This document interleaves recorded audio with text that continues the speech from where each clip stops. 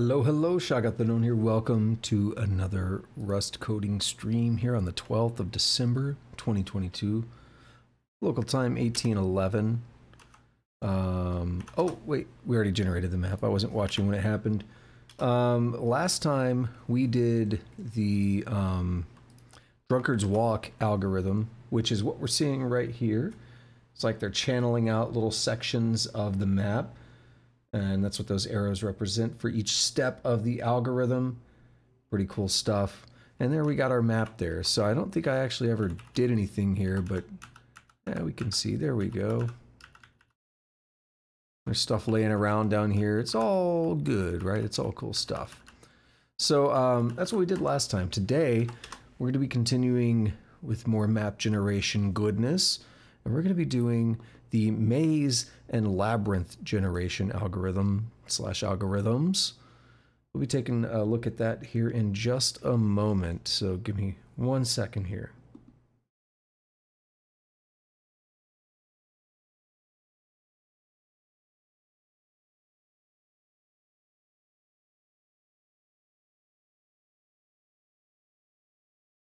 Alrighty. Sorry, sorry about that. Um, my inevitable sneeze. Oh, you started streaming. It's time. Alrighty. A mainstay of dungeon crawl games is the good old fashioned labyrinth, often featuring a minotaur. Dungeon Crawl Stone Soup has a literal minotaur labyrinth. Tome 4 has sandworm mazes. One Knight has an elven hedge maze. These levels can be annoying for the player and should be used sparingly. A lot of players don't really enjoy the tedium of exploring to find an exit. This chapter will show you how to make a labyrinth. it's like, hey, people might not like it, but let's do it. It's actually, yeah, it's good to check out. So the initial expectation from me is it's going to be something along the lines of uh, some back backtracking, backtracing algorithm to ensure that we have an actual solution. Um, that's that's just my guess. I'm not going to go into the details of what that means, but that's my initial guess. We'll see if that plays out.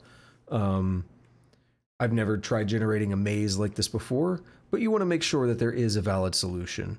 Or, or I guess you could just generate the walls and then um, pick the furthest possible exit. I don't know. Like we'll see, we'll see how it works, right? I'll probably end up using A star or something to do pathfinding as well. Just as as some guesses. Again, I don't know. We'll see. But I, am thinking in terms of actually generating it, maybe some like uh, back tracing is it back tracing, backtracking? Okay, it's been a while. Um, whatever though. So let's go ahead and take a look. So we're going to need the scaffolding. We're going to make maze.rs and I am going to copy all of this and then we'll take a look at it and make sure nothing changed. For this, I'm going to stop trying to see like what are the new things because I think it's basically been set up in such a way that it's um, not a big deal. We'll also copy the random builder stuff in here as well. Um, so let me expand this by one. That feels massive, but it'll be okay. We'll make maze.rs and we'll plop this in here so we have the maze builder. And then in random builder, I'm going to rewrite over the random builder function here with the new one we've been given. And it's going to complain because we don't actually have maze builder. So we're going to need, we're going to need mod maze and then we will do, um, let's just have it automatically handle that. And there we are. Okay, good start. Now, easy enough. Actually, let's take a look at what we have in here. Um, we do have some unused things, it looks like. No, we don't. Um,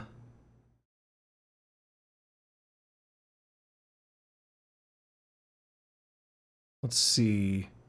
They come from common. So,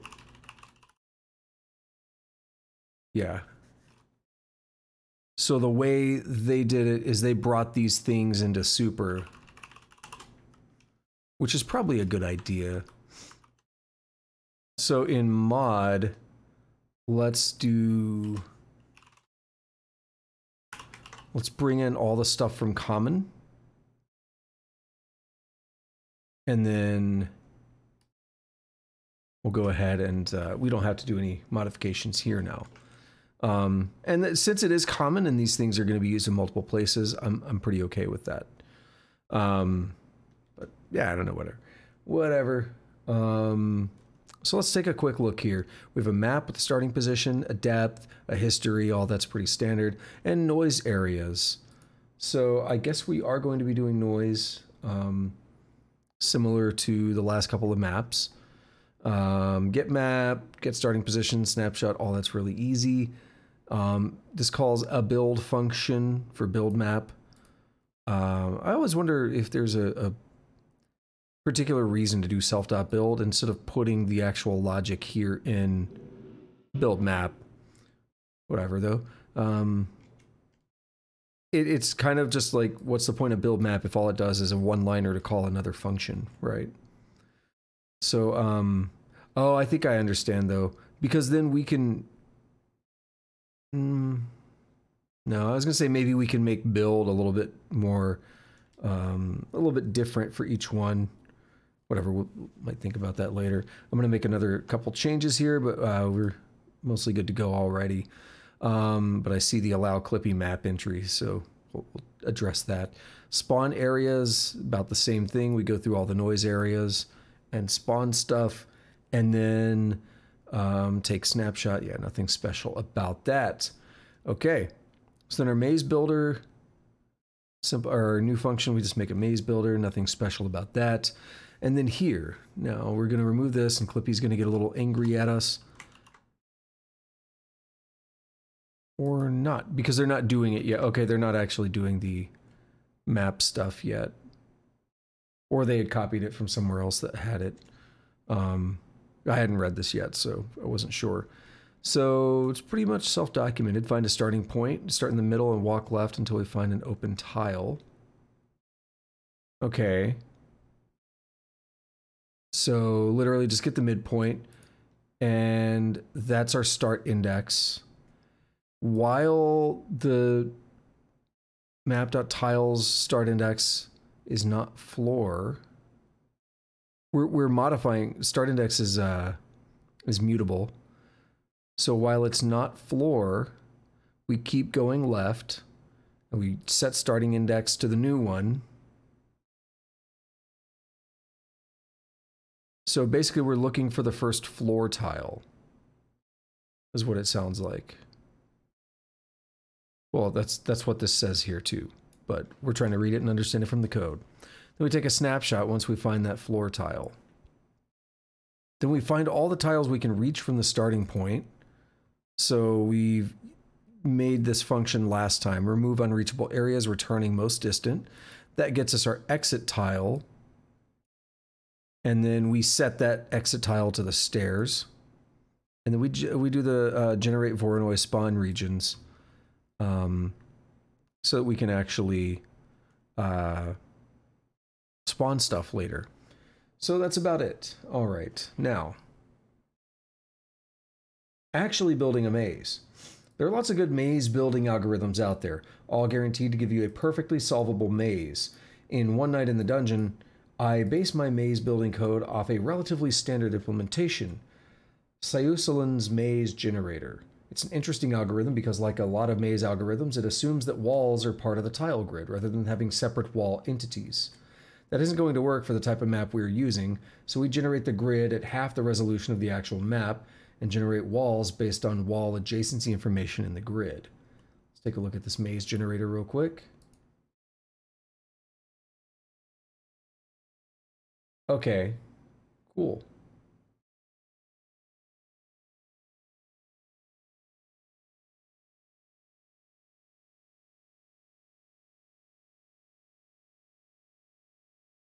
So what it's saying, let's reread that to be clear. It assumes that walls are part of the tile grid rather than having a separate entity like we do. So we're going to generate it half the actual map and we're going to have wall adjacency information. The algorithm started as C++ with pointers everywhere. It took a bit of time to port. Most basic structure in the algorithm, the cell. Cell tile, cells are tiles on the map. Okay, so let's take a look at this. Here at the top, I'm going to add a couple things.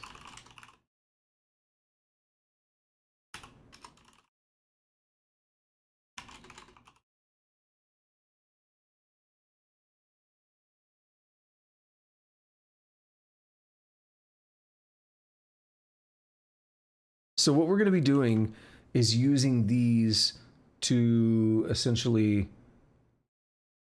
define our adjacency that we were talking about. So we're going to make this cell here.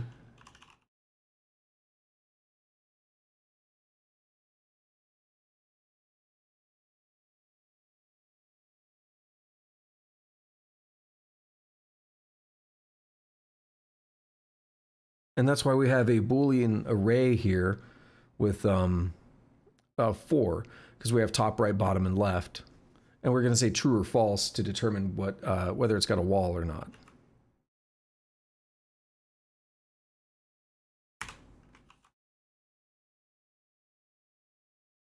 All right, so yeah, we define four constants, top, right, bottom, and left, and assign them to the numbers 0 to 3.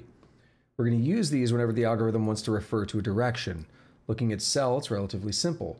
Row and common define where the cell is on the map. Walls is an array with a bool for each of the directions we've defined. Uh, rust arrays, static, you can't resize them like a vector, are defined with the syntax type, semicolon, number of elements. So that's what we see here, boolean, semicolon 4. Um, most of the time, we just use vectors because we like the dynamic sizing. But in this case, the number of elements is known ahead of time. So using the lower overhead type makes sense. Also, it's really, really tight. It's really tiny. We know it's never going to change. Um, so those are good reasons to do that. But there are cases where you may not be able to use an array even if you know the size at compile time, depending on how large it is. You might run into some issues. Um, we won't get into that here though. And visited indicates whether we've previously looked at the cell. And the cell also defines some methods, so we'll take a look at those here. First, we're going to have a constructor. Um, so let's do impl cell.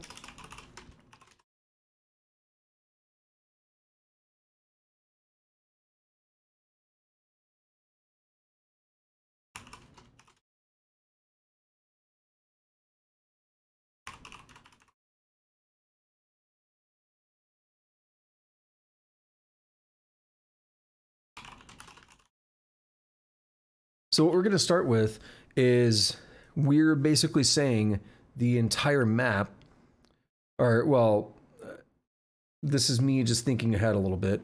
If our new assumes that we have walls on all four sides, and from the little animation we saw of the algorithm that was mentioned, um, we're and how most of our algorithms have been working, we're going to start with the entire map as walls, and then over time it's going to be hollowed out to build our maze.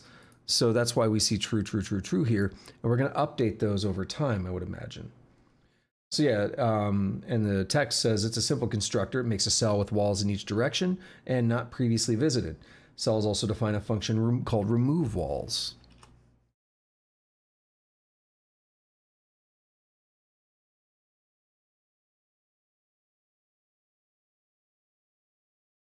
So it's interesting we're returning a new cell.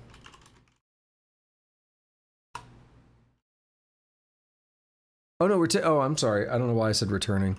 Uh, we're we're taking in another cell, so we're comparing two.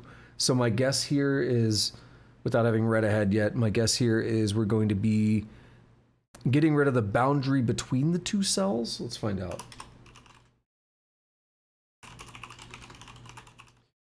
I was thinking of some cell cellular automata stuff, and for some reason I was like, oh, we just did a return.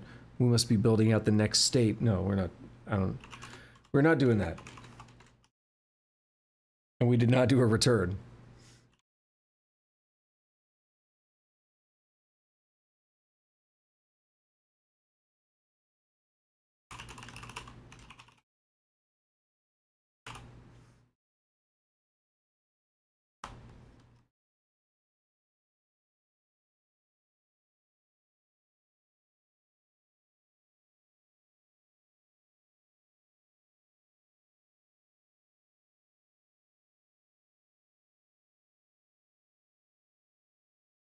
Now I have a little bit of a problem here.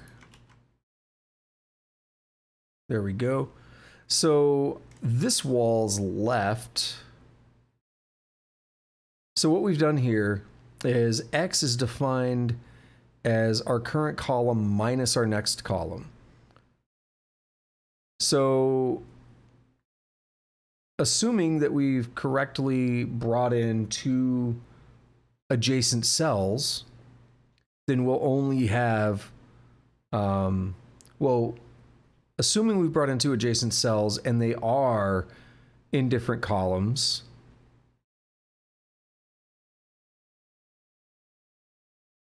then we will um, basically tear down the wall between them. So in one case, self.walls left and next.walls right. So that's saying if next is to the left of our actual cell we're mutating here, then we do that. Or if the next cell is to the right, then our current cell tears down its right wall, our next cell tears down its left wall. I hope that makes sense because the same thing is about to happen for Y. Now, these conditionals only work for cells that are directly adjacent. You can't have diagonal uh, adjacency or anything like that. You can't have things going across the map. These only work for things that are directly touching um, on one of the faces. So we only have four conditions here.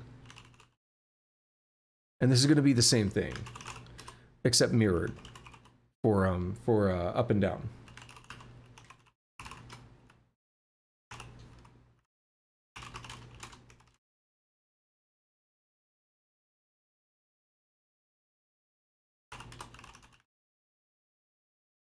Oops, I did self again.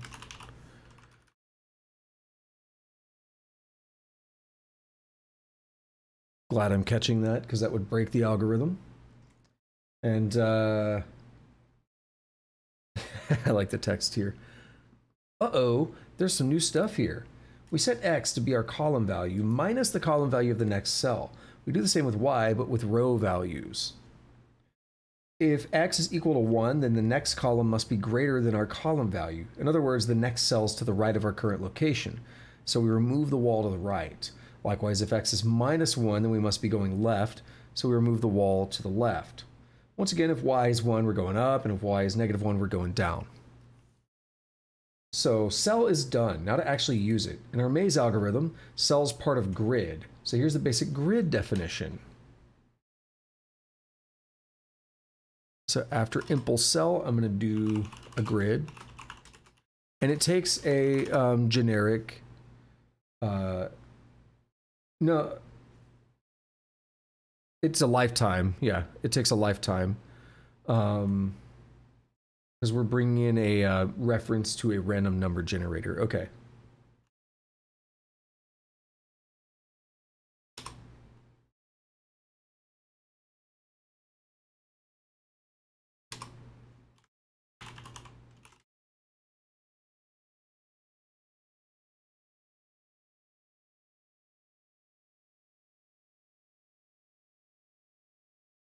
I don't think we've really talked all that much about lifetimes, but we've been seeing them a lot in um, systems when we define them.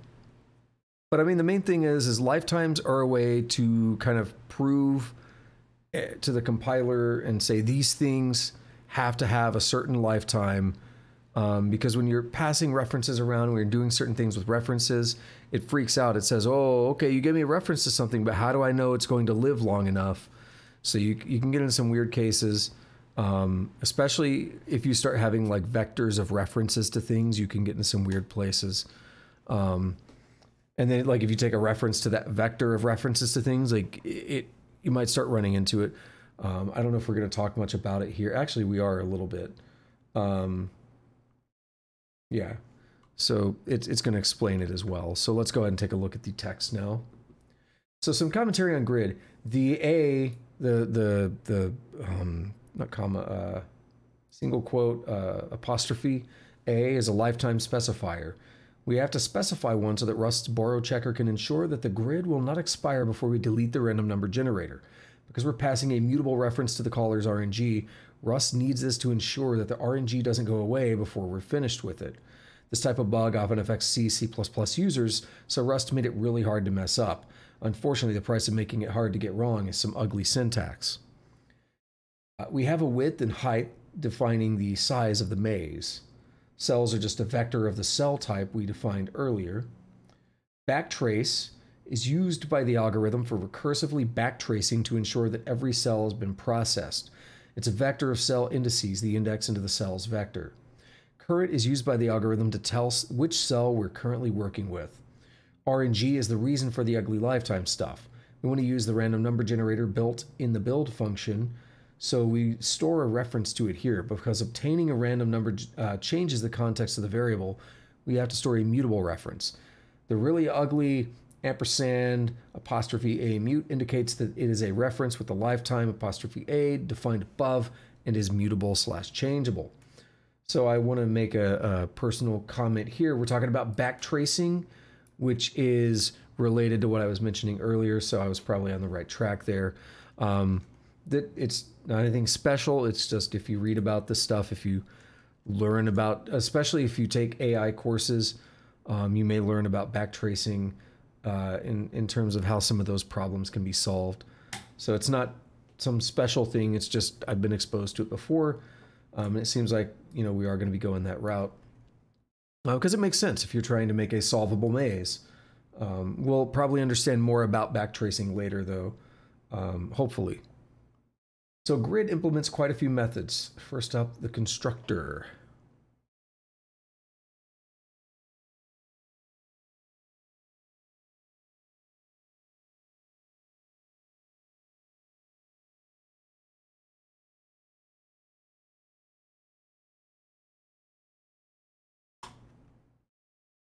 Now we're doing a return. Because it's a new, of course.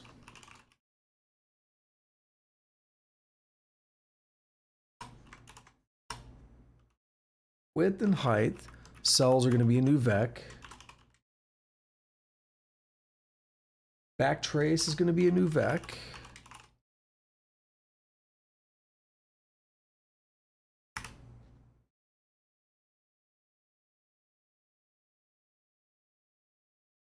Um, current is going to be zero and RNG is fine as is.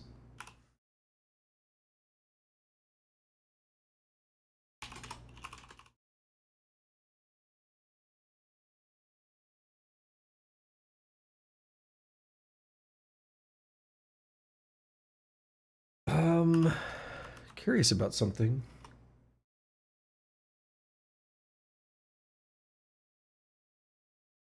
Might be a better way to do it with an iterator or something, but yeah, the double for loop, it's fine. Uh, iterator wouldn't really get around that very well. You still have to push as many things in. I was just wondering if there was a more of a one line or two line, like cleaner way to to uh, to do that. There might be. It'd be cool to look into.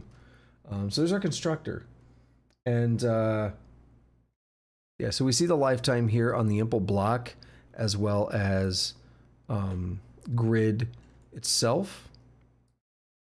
So the tutorial text does comment on that. Notice that once again we have we had to use some ugly syntax for the lifetime.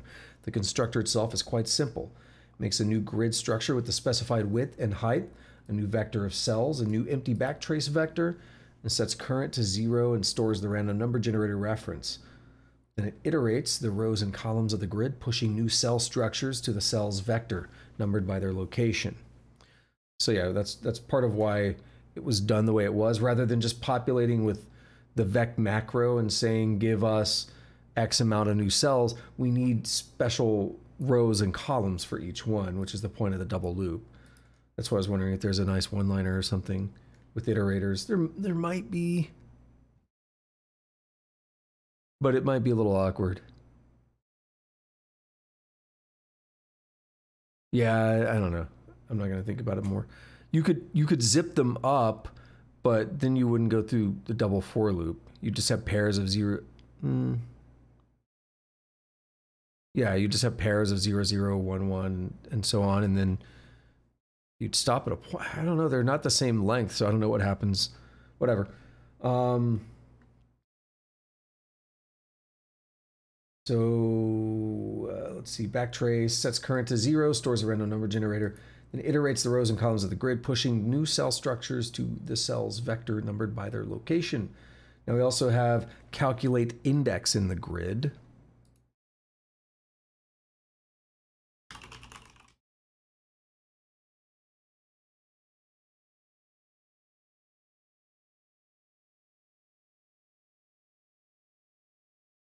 So this is going to be kind of similar to what we've been doing with our map, right?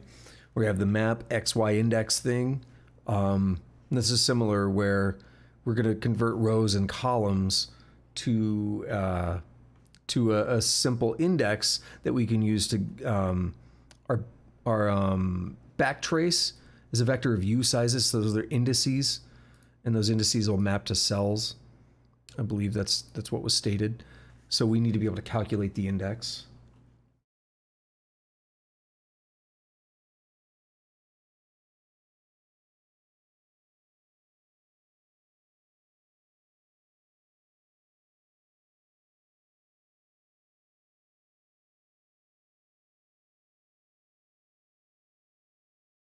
So we return negative one if we're out of bounds.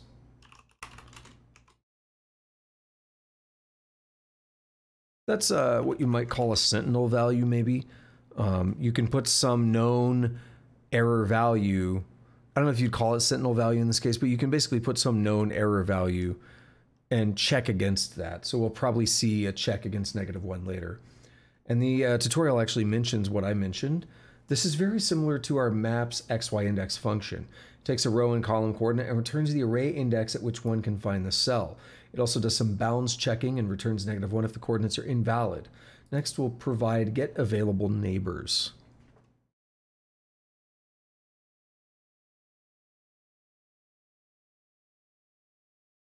I remember the last time I did this, I was building Conway's Game of Life in uh, SDL and I basically built a lot of these same kind of functions um, with like getting available neighbors and uh, calculating indices and stuff. Um, alrighty, so let mute neighbors.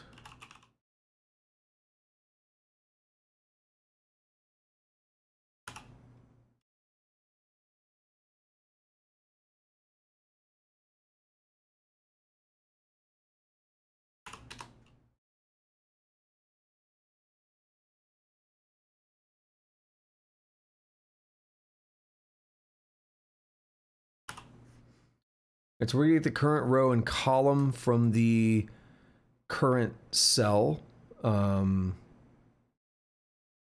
but it's actually it's the current cell we're working on in the grid, yeah. So we start at zero, but so we we start there and then over time we're to do this for like every cell.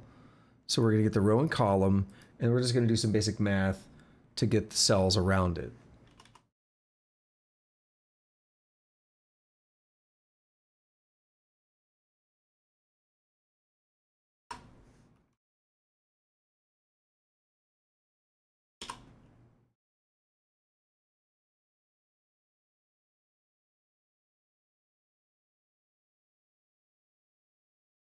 So basically, we have to, we're going to do current row minus one, current row plus one, and we're going to do column minus one and plus one. That's basically it.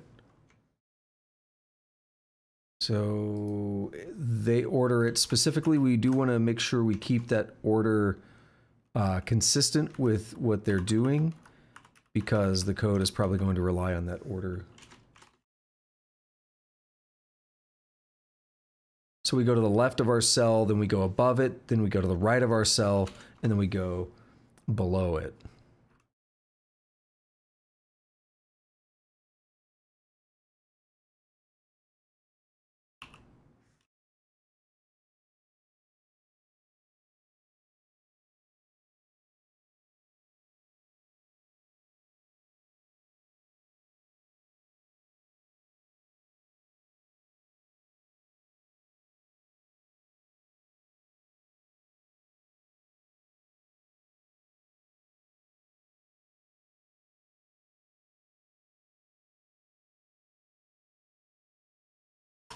All right, so I made a, a slight mistake in here. I got to put a not in front of this, not visited.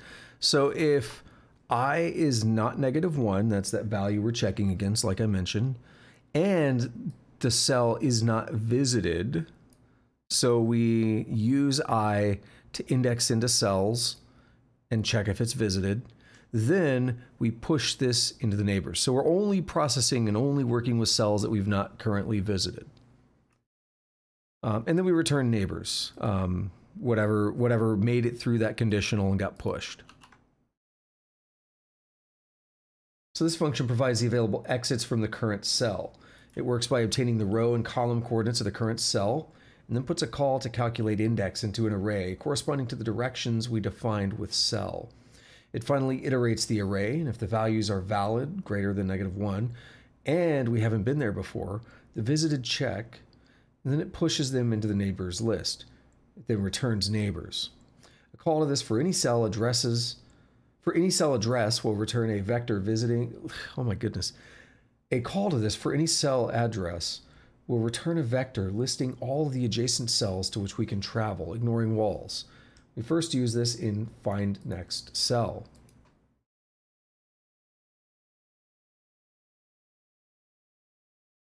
Right, so fn find next cell.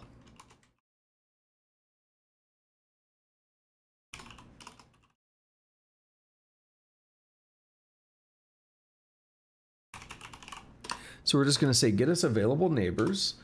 If neighbors is not empty, um, I wonder if Clippy's going to like that. Isn't there a nice, no. Um, for some reason I thought there was another check we could do. But if it's not empty, then um, neighbors.len is 1. We return the only thing that's there. Else, return some neighbors, and then we do self dot rng dot roll dice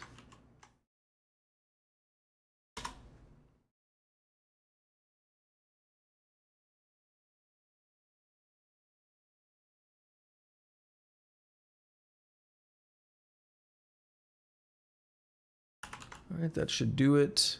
Otherwise, none.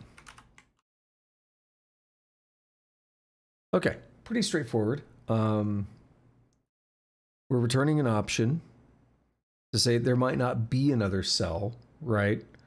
So if the list is not empty,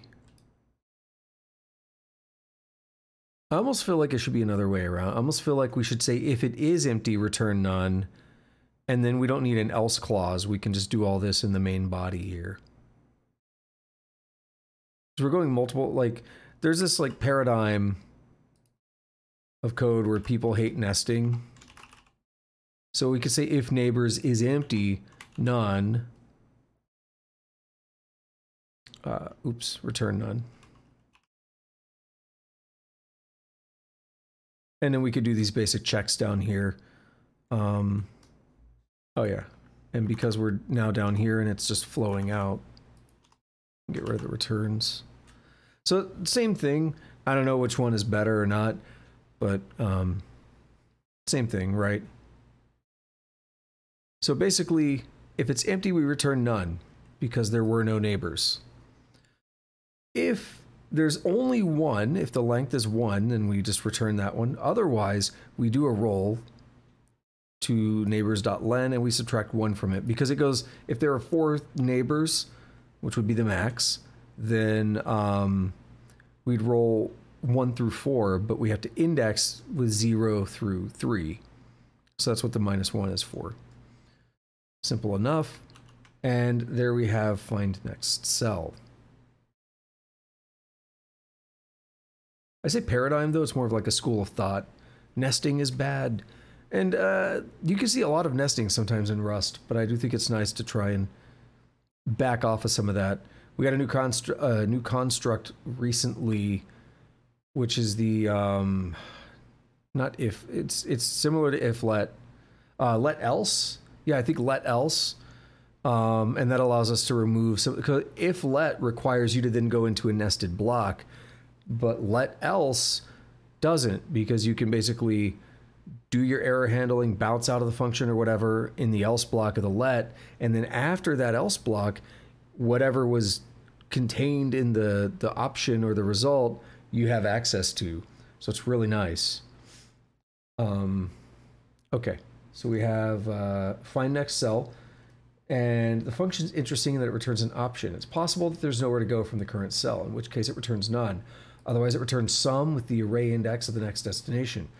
Works by obtaining a list of the neighbors for, for the current cell. If there are neighbors, if there's only one, then return it. Otherwise, pick a random one and return it. If there are no neighbors, return none.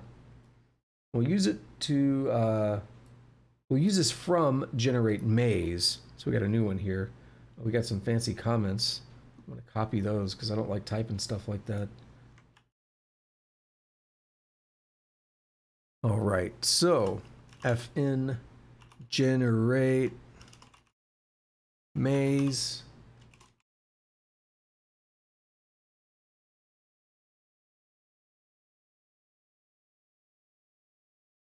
We actually pass a maze builder in. Okay. So we're gonna generate. We're gonna make our maze builder, and then in the build function, we're gonna pass it to generate maze. I bet. So we're gonna make a regular old loop here.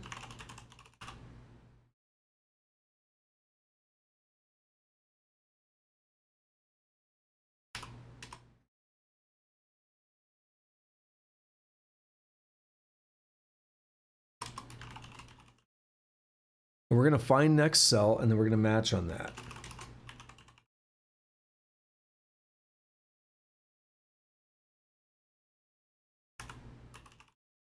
Set it visited to true.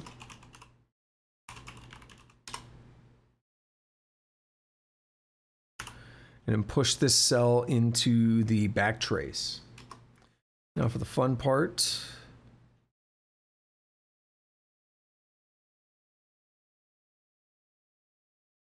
Let's take a look at how this works.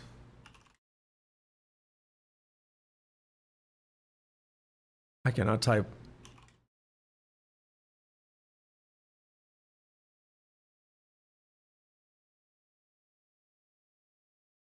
Split it mute is a fun one. We have, I don't think we've seen that show up yet in the uh, in this tutorial.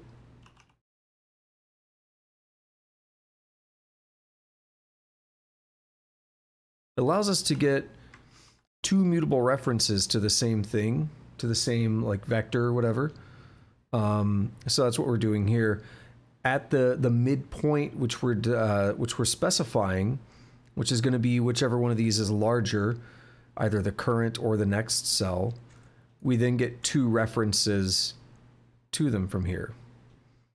So these slices both come from the same vector cells but we're allowed to mutate both of them independently. Split it mute has essentially proven that we're not going to be stepping on each other's toes. So it, it lets us get around some of the um, potent, uh, issue is a, a, a, strong term, but some of the issues with the um, borrow checker. It's a bit of a strong term. The borrow checker is a good thing.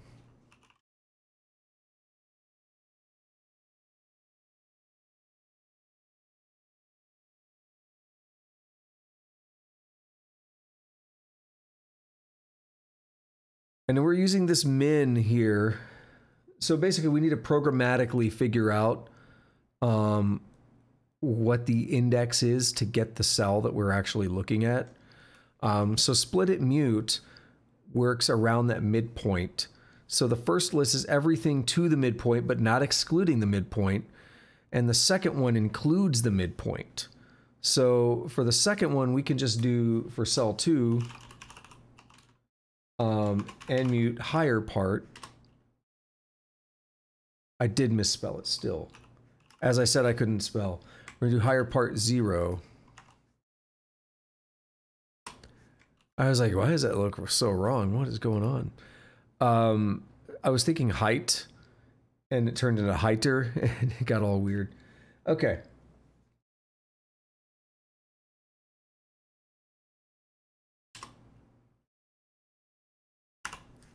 So we're going to use cell 2 to remove the walls from cell 1. And they're actually both going to be modified.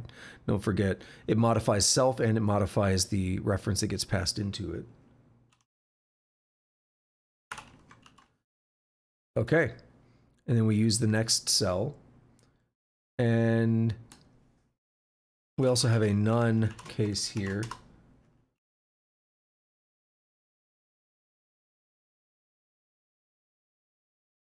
Backtrace is empty. Self.current is self.backtrace. Oh, if it's not empty, yeah, my bad. I typed the not, but I didn't read it correctly. So if backtrace is not empty, then current becomes the first thing in the backtrace. And then we remove it. Else break. So what's going to happen is, um, we're, I'm sure we're going to get an explanation of it. Um, let me just do these last couple of lines here, and then I'll I'll get into it, I guess. Um, let's follow this. So that's our break. we have one of those, and we have one of those. Self dot copy to map.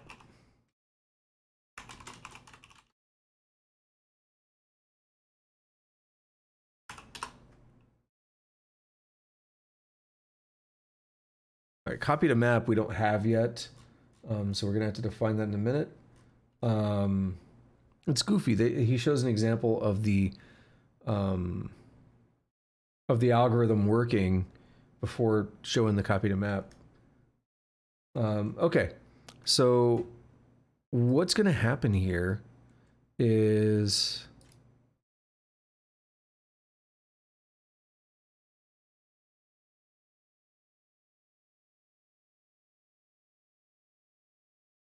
Yeah. So what's going to happen here is um, our our basis case that's going to break us out. Let's go ahead and and and you know look at this and understand this algorithm a little bit. Um, the thing that's going to break us out of here is if backtrace is empty. So um, if backtrace is not empty, then we'll do some stuff here. But the only way we're ever going to get out of this loop is when there are no neighbors and there's nothing in the backtrace. So the backtrace is really important. Um, and this is kind of what I've been alluding to a little bit. So let's also think about how that's going to be used here. So let, let's look at the algorithm. We start up at, uh, I mean, we know it's not going to be a completely infinite loop, but it's just a loop. So unless we give it a way to break, then it's never going to break. Uh, so we start up a loop and we take our current cell and we set it to visited. And then we find our next cell. Now, assuming there is a next, that's what this match is doing, right? So match next and then Some. We get the usize, the index, out of the Some. And then we also set the next cell to visited. And we put our current cell in the backtrace. So that's important for later, right? So we put whatever cell we're on in the backtrace. So basically, every cell that this loop directly processes is going to go into the backtrace. Then we split the cells in half, or not in half, but in two, split it mute. That way we can get access to cell one and cell two. Um, so this is what I, you know, I kind of already talked about it but index zero of the higher part, um, is it called higher or higher part? In the, I mean, it doesn't really matter. The code is fine. There. Um, index zero of the higher part is the the the next cell that or the the yeah it's it's like the next cell that we're um oh no it's not my bad you know it is. My yeah, it is. Okay, sorry, I had to look down here. I was getting confused a little bit. It is. So the trick is though we're using this standard compare max because we need to make sure that we split in the correct order. So that's the real trick here. So whichever one is larger um, is where we're going to do the split. So then in the first one here, we need to just find the index based on whichever one is smaller because that's not how we did the split. And then on the second one, since we know where we did the split, um, it'll be the first thing here. So we have cell one and then cell two is our next, is our new next cell basically. Now we've got them split apart. They can both be mutated separately despite the fact that they're in the same overall collection. And then we do remove walls, which we already talked about earlier. But basically, if the cells are um, next to each other on the, like if they're on the same row, if they're next to each other going left and right, then you'll remove the left and right walls that they share. If they're up and down, you'll remove the up or down walls that they share with each other. Just trying to say it as simply as possible. And then um, now we set self.current to next. So then we're going to repeat this loop, right? We're going to be done with that match. We're, we're going to copy the map and we're going to do the generator snapshot. Not really that fancy. Um, but uh, after that, we're going to go back through. And now we've updated current to be that next cell that we just used. So we'll look for the next cell's neighbors, and then we'll basically do the same thing from there. Um, and remember, find next cell gives us some random cell, right? Assuming there's more than one neighbor, it's going to give us random cells. So we might go up, we might go down, we might go left. We can go all kinds of different directions. I mean, four, but we can take whatever random direction we want. So that's going to give us a lot of variation in our maze. But what happens if there are no neighbors? For instance, we go to uh, get the next cell or whatever, and well, we can't because what if there are no neighbors, right? If neighbors is empty, we return none. That's where we fall down to the backtrace. And remember, what we've been doing is every time we process a cell, we add it to the backtrace. So then, as long as there's something in the backtrace, we'll then take that thing out of the. Um, is it Okay, it is doing it that way, yeah. So we'll then take the first thing in backtrace and that'll be our new current. So if the first time we process this cell, it had four neighbors, now we might look at it again and it has three neighbors or two neighbors or something. So we can then take a different neighbor and take a different route out of a cell we've already processed. And that's the idea of backtracing, right? And that's what's going to make sure that we actually fill out the entire map. Okay. Copy to map, I think is going to be pretty straightforward um, in, in terms of what we're doing. Uh, we are going to be taking that current cell that we just worked with and uh, copying the data, copying that data relevant to it. Like, okay, I, I guess the, yeah, I guess the walls and everything. We're going to have to de define the walls and everything in our map, walls and floor tiles. So it's probably going to be fairly straightforward, but we'll just have to do a couple checks there. So we haven't done it yet, but I, I think it kind of makes sense what we're doing, right? We've generated the idea of like our cell and how many walls it has and everything. We just need to get that data into our actual map in a usable form for the game now. So we're going to take a look here at the um, at the page and there's a bunch to read. So let's start going through it. I'm going to not scroll down anymore because it's going to spoil the, the visuals of it. So now we're onto the actual algorithm. Let's step through it to understand how it works. We start with a loop. We haven't used one of these before. You can read about them here. Basically, a loop runs forever until it has a break statement. We set the value of visited in the current cell to true. We add the current cell to the beginning of the backtrace list. We call find next cell and set its index in the variable next. If this is our first run, we'll get a random direction from the starting cell. Otherwise, we get an exit from the current cell we're visiting. If next has a value, then split cells to two mutable references. We will need two mutable references to the same slice. Rust normally doesn't allow this, but we can split our slice to two non-overlapping parts. This is a common use case, and Rust provides a safe function to do exactly that. And that would be the split it mute. Get mutable reference to cell to the cell with the lower index from the first part and to the second from start of second part. Okay, that's that's confusing. So let me reread that. Get a mutable reference to the cell with the lower index from the first part, and the second cell reference we're going to get is the start of the second part. Adding some extra words there maybe makes it a little more clear.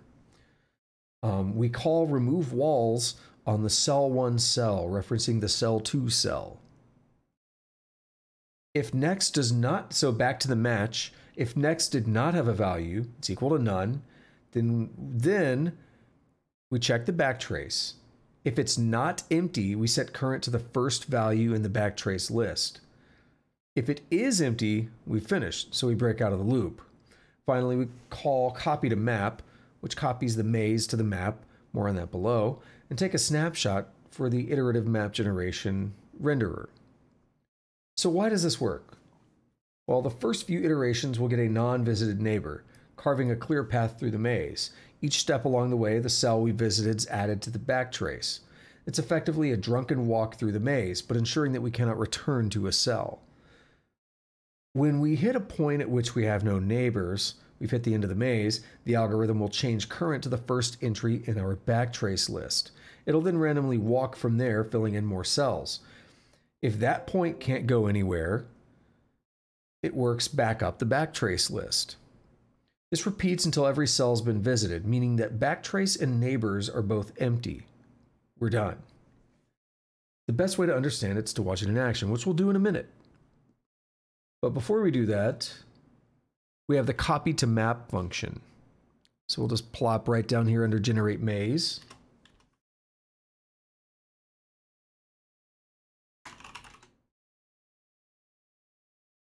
We'll take immutable reference to the map.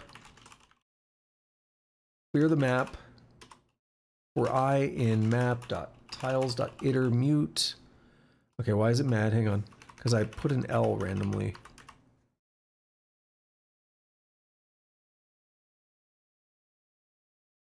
Oh, we're not, um... There we go.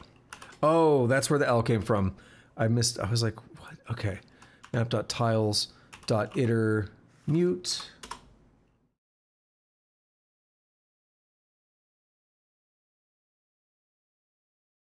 We'll set them all to walls. That's our way of clearing.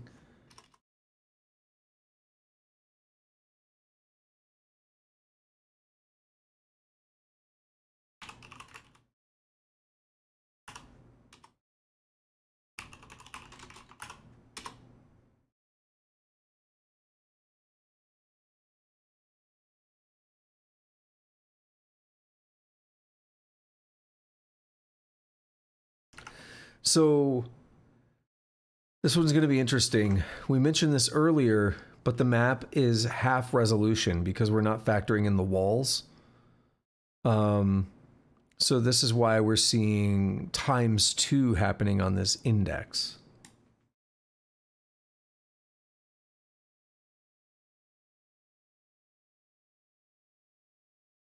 Now that's probably still a little confusing. I'll have to maybe check a couple things. Like our new grid. We haven't made one yet with the width and height, but I think that's where we're going to see it come into play. Where we do the half resolution. Um, okay, so we'll set that to a floor. And then if not, cell.walls top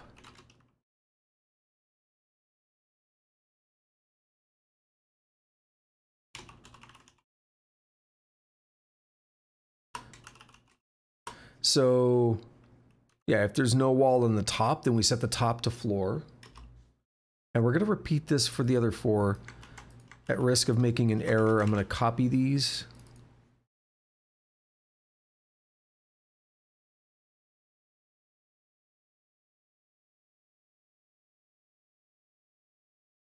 I kind of don't like this. I always like to go up, down, left, and right in that order. Um,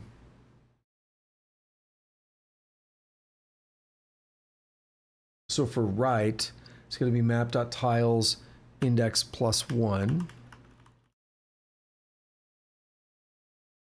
And that's going to be a floor. So left, you might be able to guess what it's going to be. And in this should be plus, index plus map width is usize. That just scoots us down to the next row. And we should be good to go. So, this is where the mismatch between grid, cell, and our map format's resolved. Each cell in the maze structure can have walls in any of the four major directions.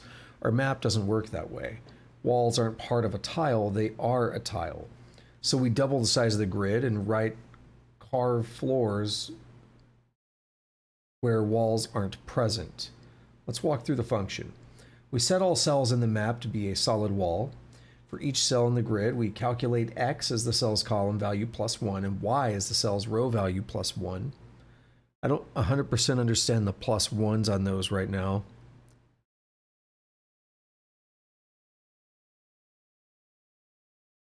Yeah, I, I, I I'd have to think about that. Oh no, I think I do know. It's it, it, that's also part of the half resolution thing, I believe yeah, we, we might have to do some thought experiment on it later, but I believe that's also due to the half resolution. Basically, um, because we're at half resolution, something in that mode that's at at at one one now actually needs to be at two two or something, right? I mean, simple way of of looking at it. Um, okay, so then three, set index to map xy index of double the x and y values, so spread each cell out. Then we set the map tile at index to be a floor. If the cell we're referencing does not have a top, we set the map tile above our index to be a floor, and we repeat for the other directions. So we're going to be wasting a lot of time by snapshotting at every iteration. We're building a huge list of snapshot maps. It was great for learning the algorithm. It simply takes too long when playing the game. We'll modify our generate maze function to count iterations and only log every 10th. We'll do that in a minute. I think we can actually witness this in action now. So let's try to take a look at it. I think we have we satisfied everything. I don't think anything's screaming at me. So it'll take a while to play, but we'll get to see it in action. No, something is mad. Oh, nothing's being used. Of course. Nothing's really being used yet. Where did we um, run into the issue? Yeah, so we didn't actually generate it. Um, so here it's going to be, uh, how do we do this?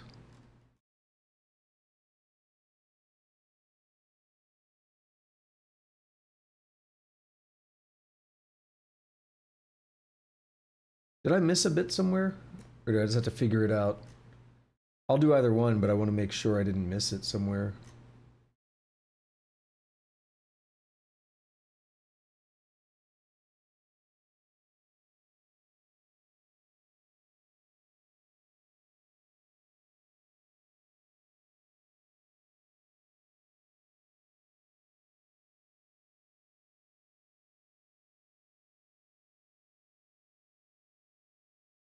Yeah, I'm not seeing it, so we're gonna have to figure it out.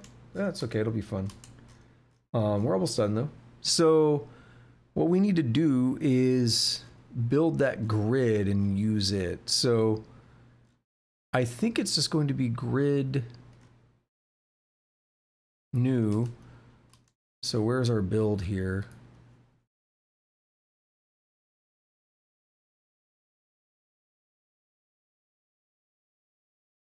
And it's going to be self.map.width over 2 self.map.height over 2 I hate the no spacing on it. I'm going to fix that. And mute RNG grid dot generate maze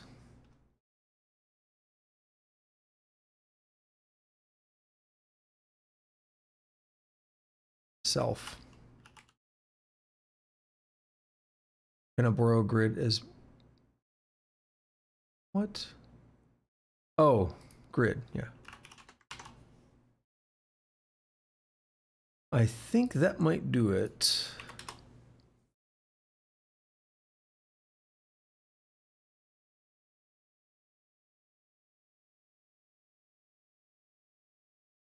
No, what's mad now?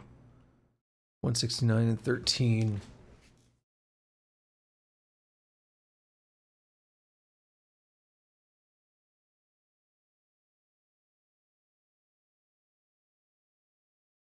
So map XY index.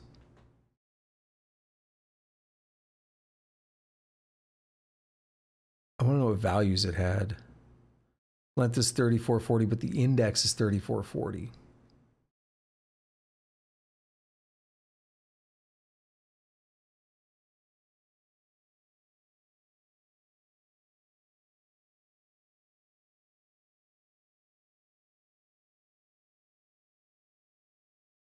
So it's an off by one, um, but let's take a look.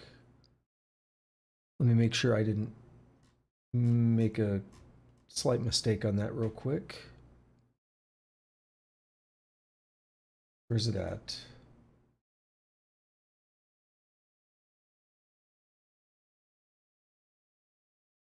Yeah, so that's fine.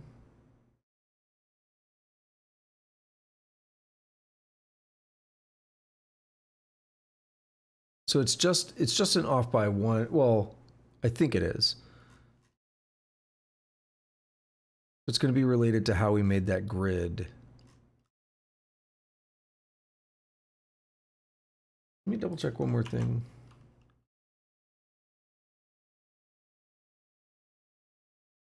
Yeah, there is no new grid being made in the text here, so I could pull up the source or just work with it. I'm wondering if do we need a plus one on these? That's what I've been trying to think about.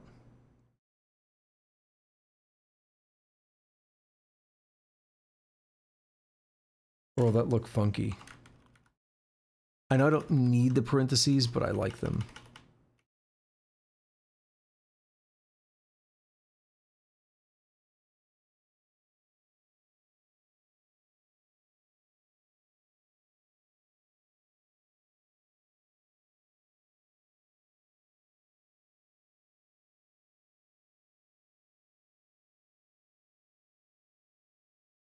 No, I'm still hitting hit the same thing.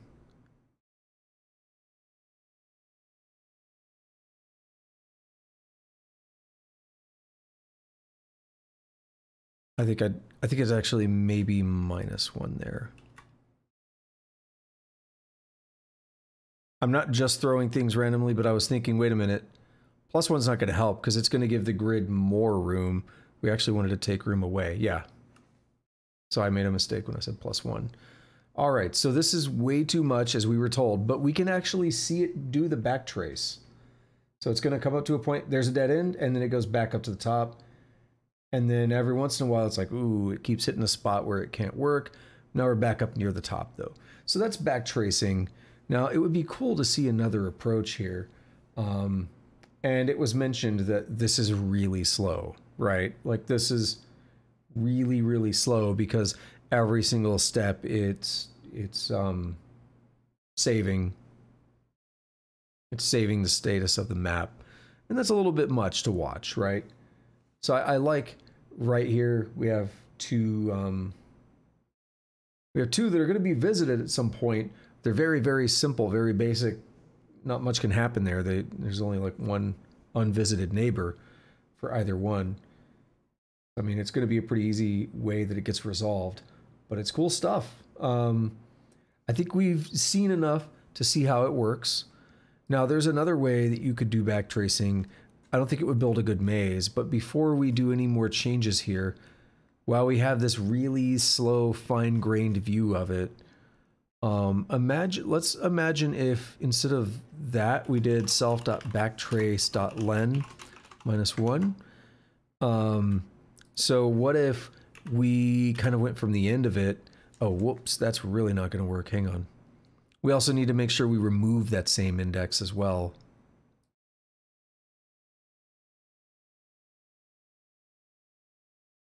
that's going to lead us into a bad situation. So let's take a look at just how it might be different if we went from the back instead, because that's going to be the most recent cell that we added. Um, so it's going to give us quite a bit of a different result. Um, I think it'll be cool to check out. So we're getting close to the first back trace.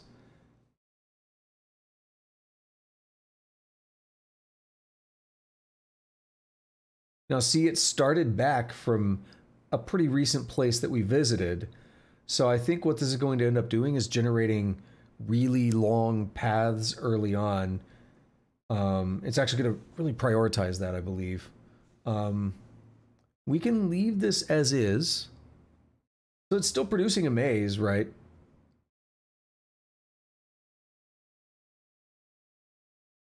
This little square up here, it's going to get filled in like at the, at like one of the, no, it might take a little bit. Yeah, depends on how these next back traces happen. You see how we're, we're doing? We're, we're like prioritizing these really long paths because we're still working from the nearest back trace. So I think we're going to see these much different results here. But again, it's still giving us a maze.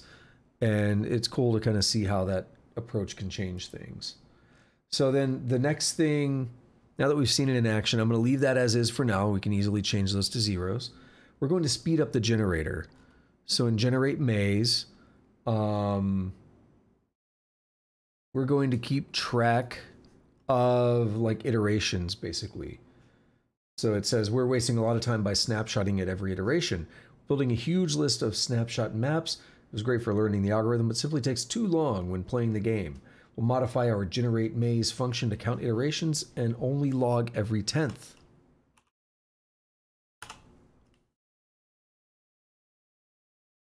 So, um, see, right after the match,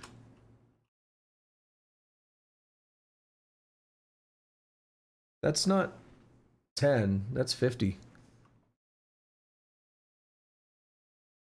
Self dot copy to map.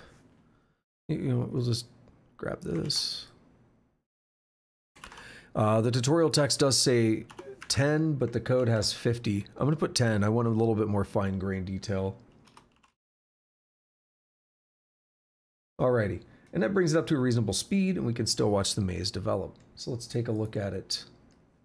Now, again with our modified backtrace,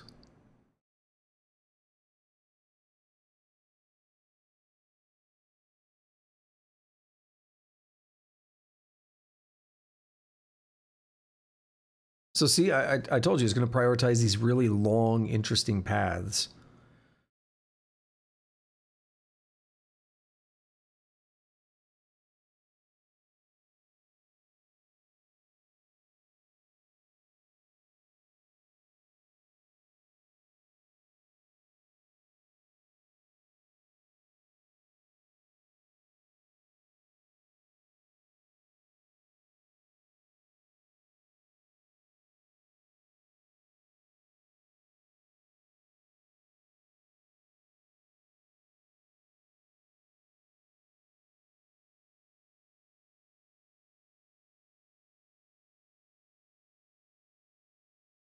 There we have it.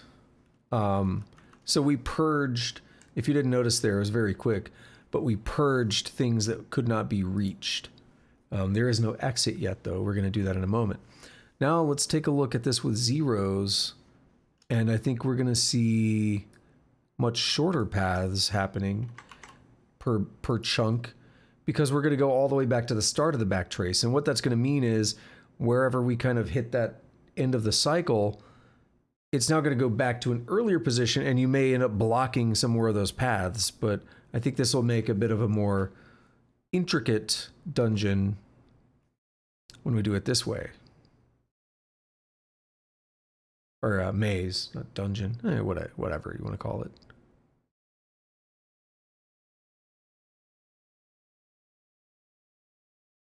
See, we're not like, all right, that one went pretty long, but it got over there and now we're like back to the starting areas.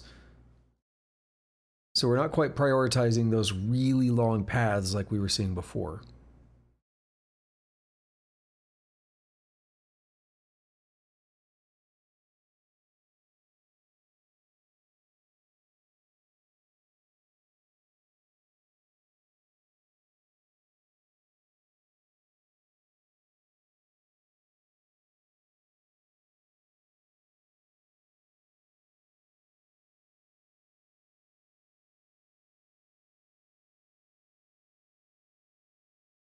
And there we go. I had a purge there, but we are good. Alrighty. Um, well, with that, we're almost done here. The next thing we're going to do is um, find an exit. Fortunately, our current algorithm will start you at cell 1, 1, which corresponds to map location 2, 2. So in build, we can easily specify a starting point. Um, okay.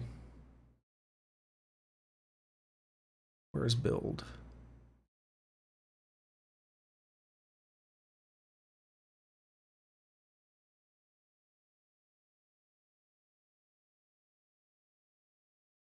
So we have this here, but we want to do something different.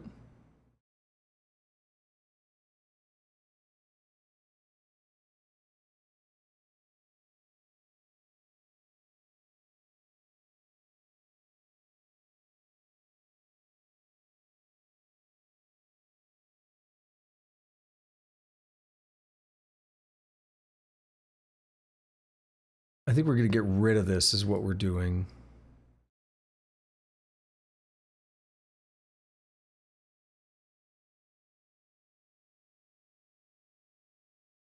Or we're just going to guarantee we start at 2.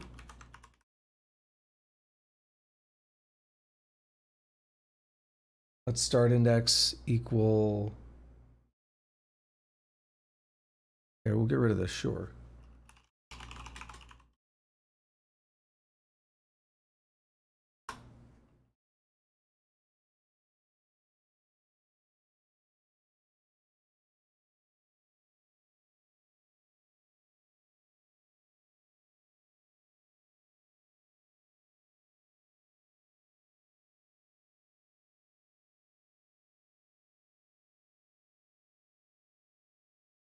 We're not doing the other thing anymore. And then we do the exit tile. We already are placing the stairs, though. Never mind.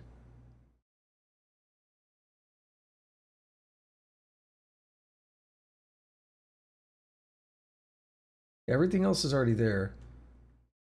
And it's also a great test of the library's Dijkstra map code. It can solve a maze very quickly. Once again, we restore the random builder. Ah, I'm not going to do that right now. We're going to test this. We're going to try and navigate through one of these or something. I'm a little confused by what we did there. We just always start in the same spot. That's a little odd to me.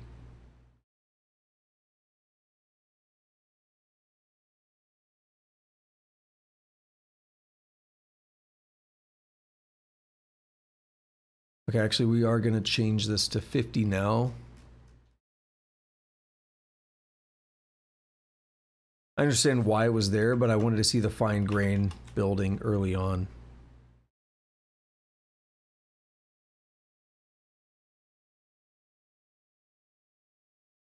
that's pretty much it though.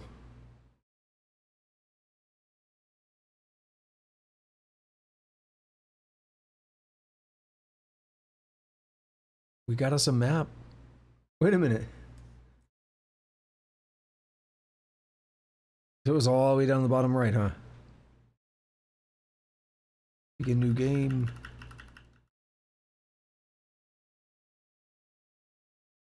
So we want we can now like uh scour like just search through here, see what we find. Yeah, we gotta solve it. We'll commit to solving one.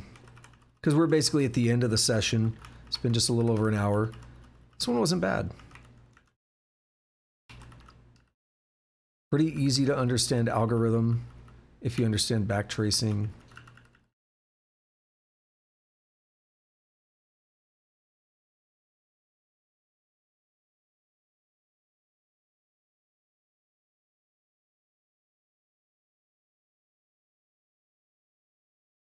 We are hungry.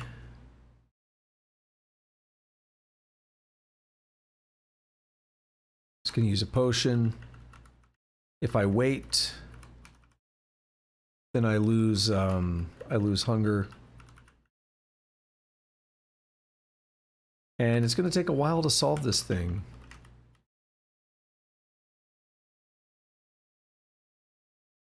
What I should do, I should just start following the left wall.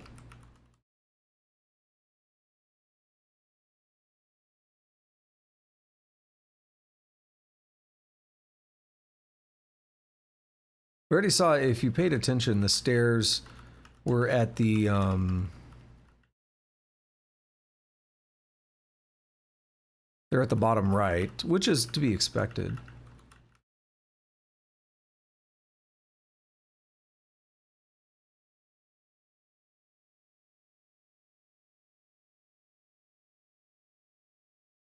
This is a matter of getting down there. Did I get more rations yet? Did. I should have waited a little bit longer, huh?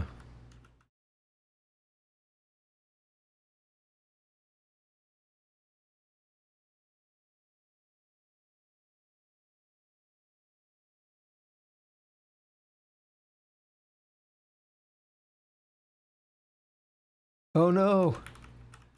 Found ourselves in a dead end.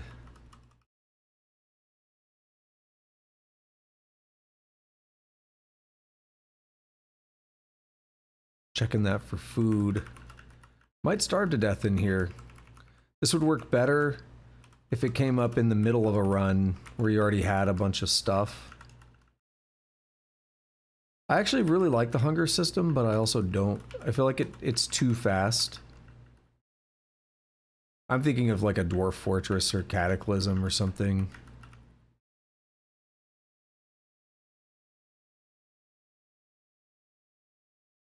This is like a rapid fire hunger system. Like, all right, you're hungry again, let's go.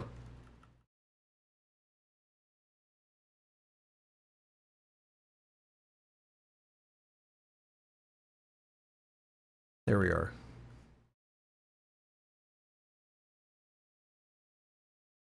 I'm intentionally waiting a bit until we get a little bit hungrier.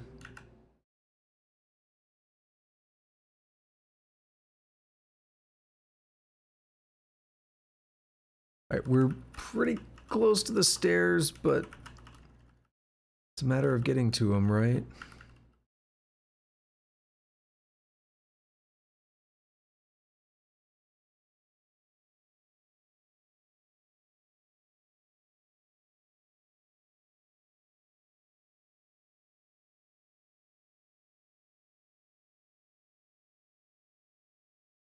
Pretty cool.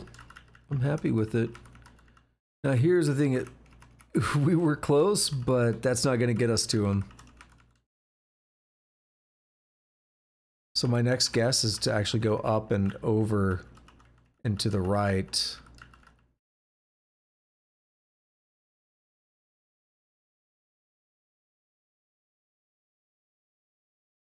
Around that area we were just in.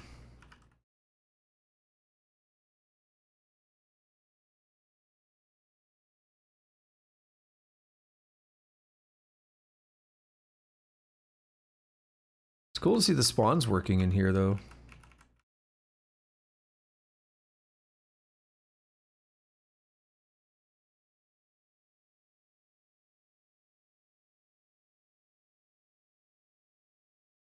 Damn it. Wanted food. We might die. No.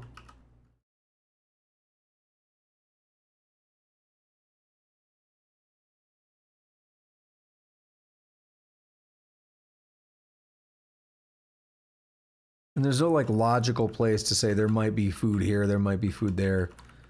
It's probably because the noise areas don't play well with the walls here. There's so many walls that the noise areas don't have a lot of options.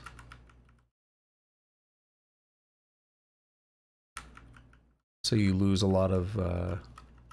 oh, there we go. You lose a lot of fidelity, I would imagine. Or not fidelity, but like you lose a lot of the spawns. Like, oh, we can't spawn there, it's a wall.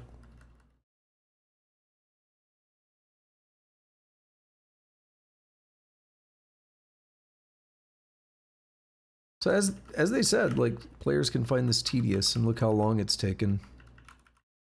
That was uh, that's my cursor, that purple thing.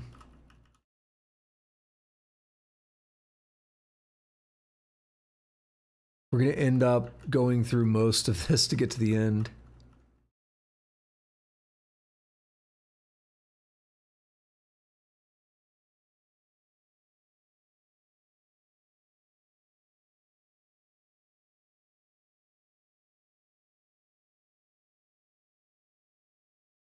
This is what I was trying to say earlier. Go down this way.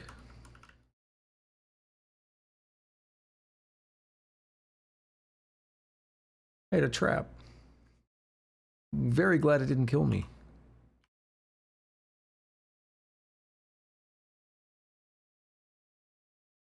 All right, this did it. It's got to be over here. There's no other way to get here. Wait a minute. Oh no, that's that's them. Yeah. Hey, we did it. And look how quick the next ma the maze is already generated. Like it's very fast to generate. It's just watching it that makes it seem slow. All right, cool. That's it for the session, really. I don't think there's anything else we care to do. Um, the code mentions to make the random builder a little more random again. I don't really think we need to do that. It's not special. Next time we're going to unrandomize it as we do another map anyway, so it doesn't matter. So um, yeah, in this chapter, you built we built a maze. It's guaranteed solvable maze, so there's no risk of a level that you can't beat. You still have to use this type of map with caution. They make good one-off maps and can really annoy players. Um, yeah, I was thinking what you'd want to do is something like our spawn table where you have weighted spawns. If you're just doing random levels, you have weighted weighted um, choices for which map builder you use and make the maze less random or uh, well make the maze less common i mean that would be my initial approach there. So that's going to be it for the session or for the the coding and stuff today. Good old hour and 22 23 minutes not bad. Next we're going to take a sneak peek. We will see the animation here but i won't do it next time. I don't like to spoil them diffusion limited algorithm it says. Um, so this looks pretty cool. Kind of spreading out.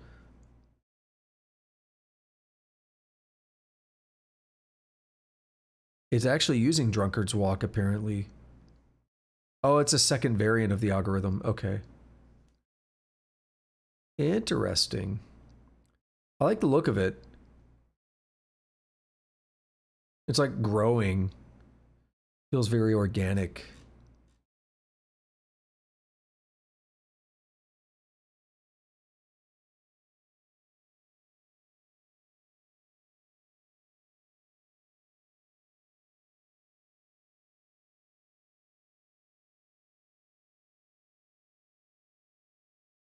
Symmetry. Oh, this is cool.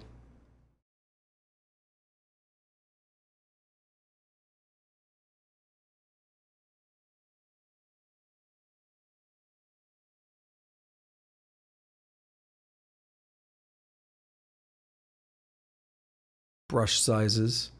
Yeah, it's it's carving out multiple tiles at once now. Cool. Alrighty.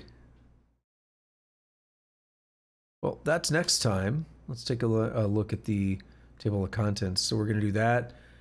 And then adding symmetry and brushes to the library. So I might try to do both of those next time. Since this is a... Um, this is going to be a big refactor, so I'll try to do both. And then after that, it'll be Voronoi Hive maps, which I'm really excited about because they look cool.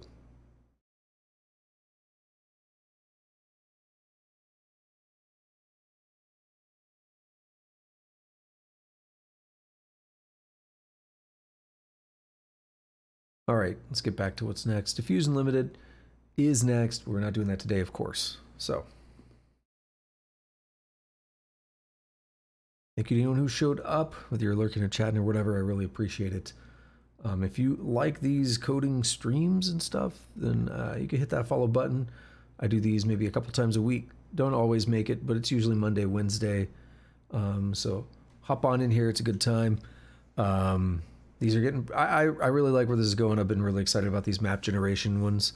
Um, also, you could drop a follow or not follow, but you could do all the, the fun YouTube stuff. Or if you're watching it in YouTube, I'd appreciate if you do all that stuff. The like, subscribe, notification bell, comment. You know how it all works.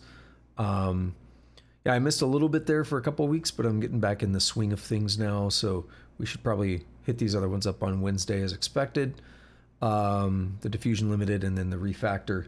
So it should be good stuff and uh, I think we're you know making decent progress through these. I've backed down a little bit on the size of these, where I'm not trying to go for like three hours or whatever. I feel like it's quite a bit to do it once, and I, I am trying to absorb the material here because I think we'd be looking at for diffusion, we'd probably be looking at another hour and a half or, or more, and I'd rather not try to cram that in today. So I think it's it's good to get a little balance, right? So again, appreciate anyone watching.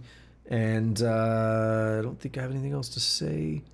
So until next time, have a good day, have a good night, whatever it is, wherever you're at. Take it easy.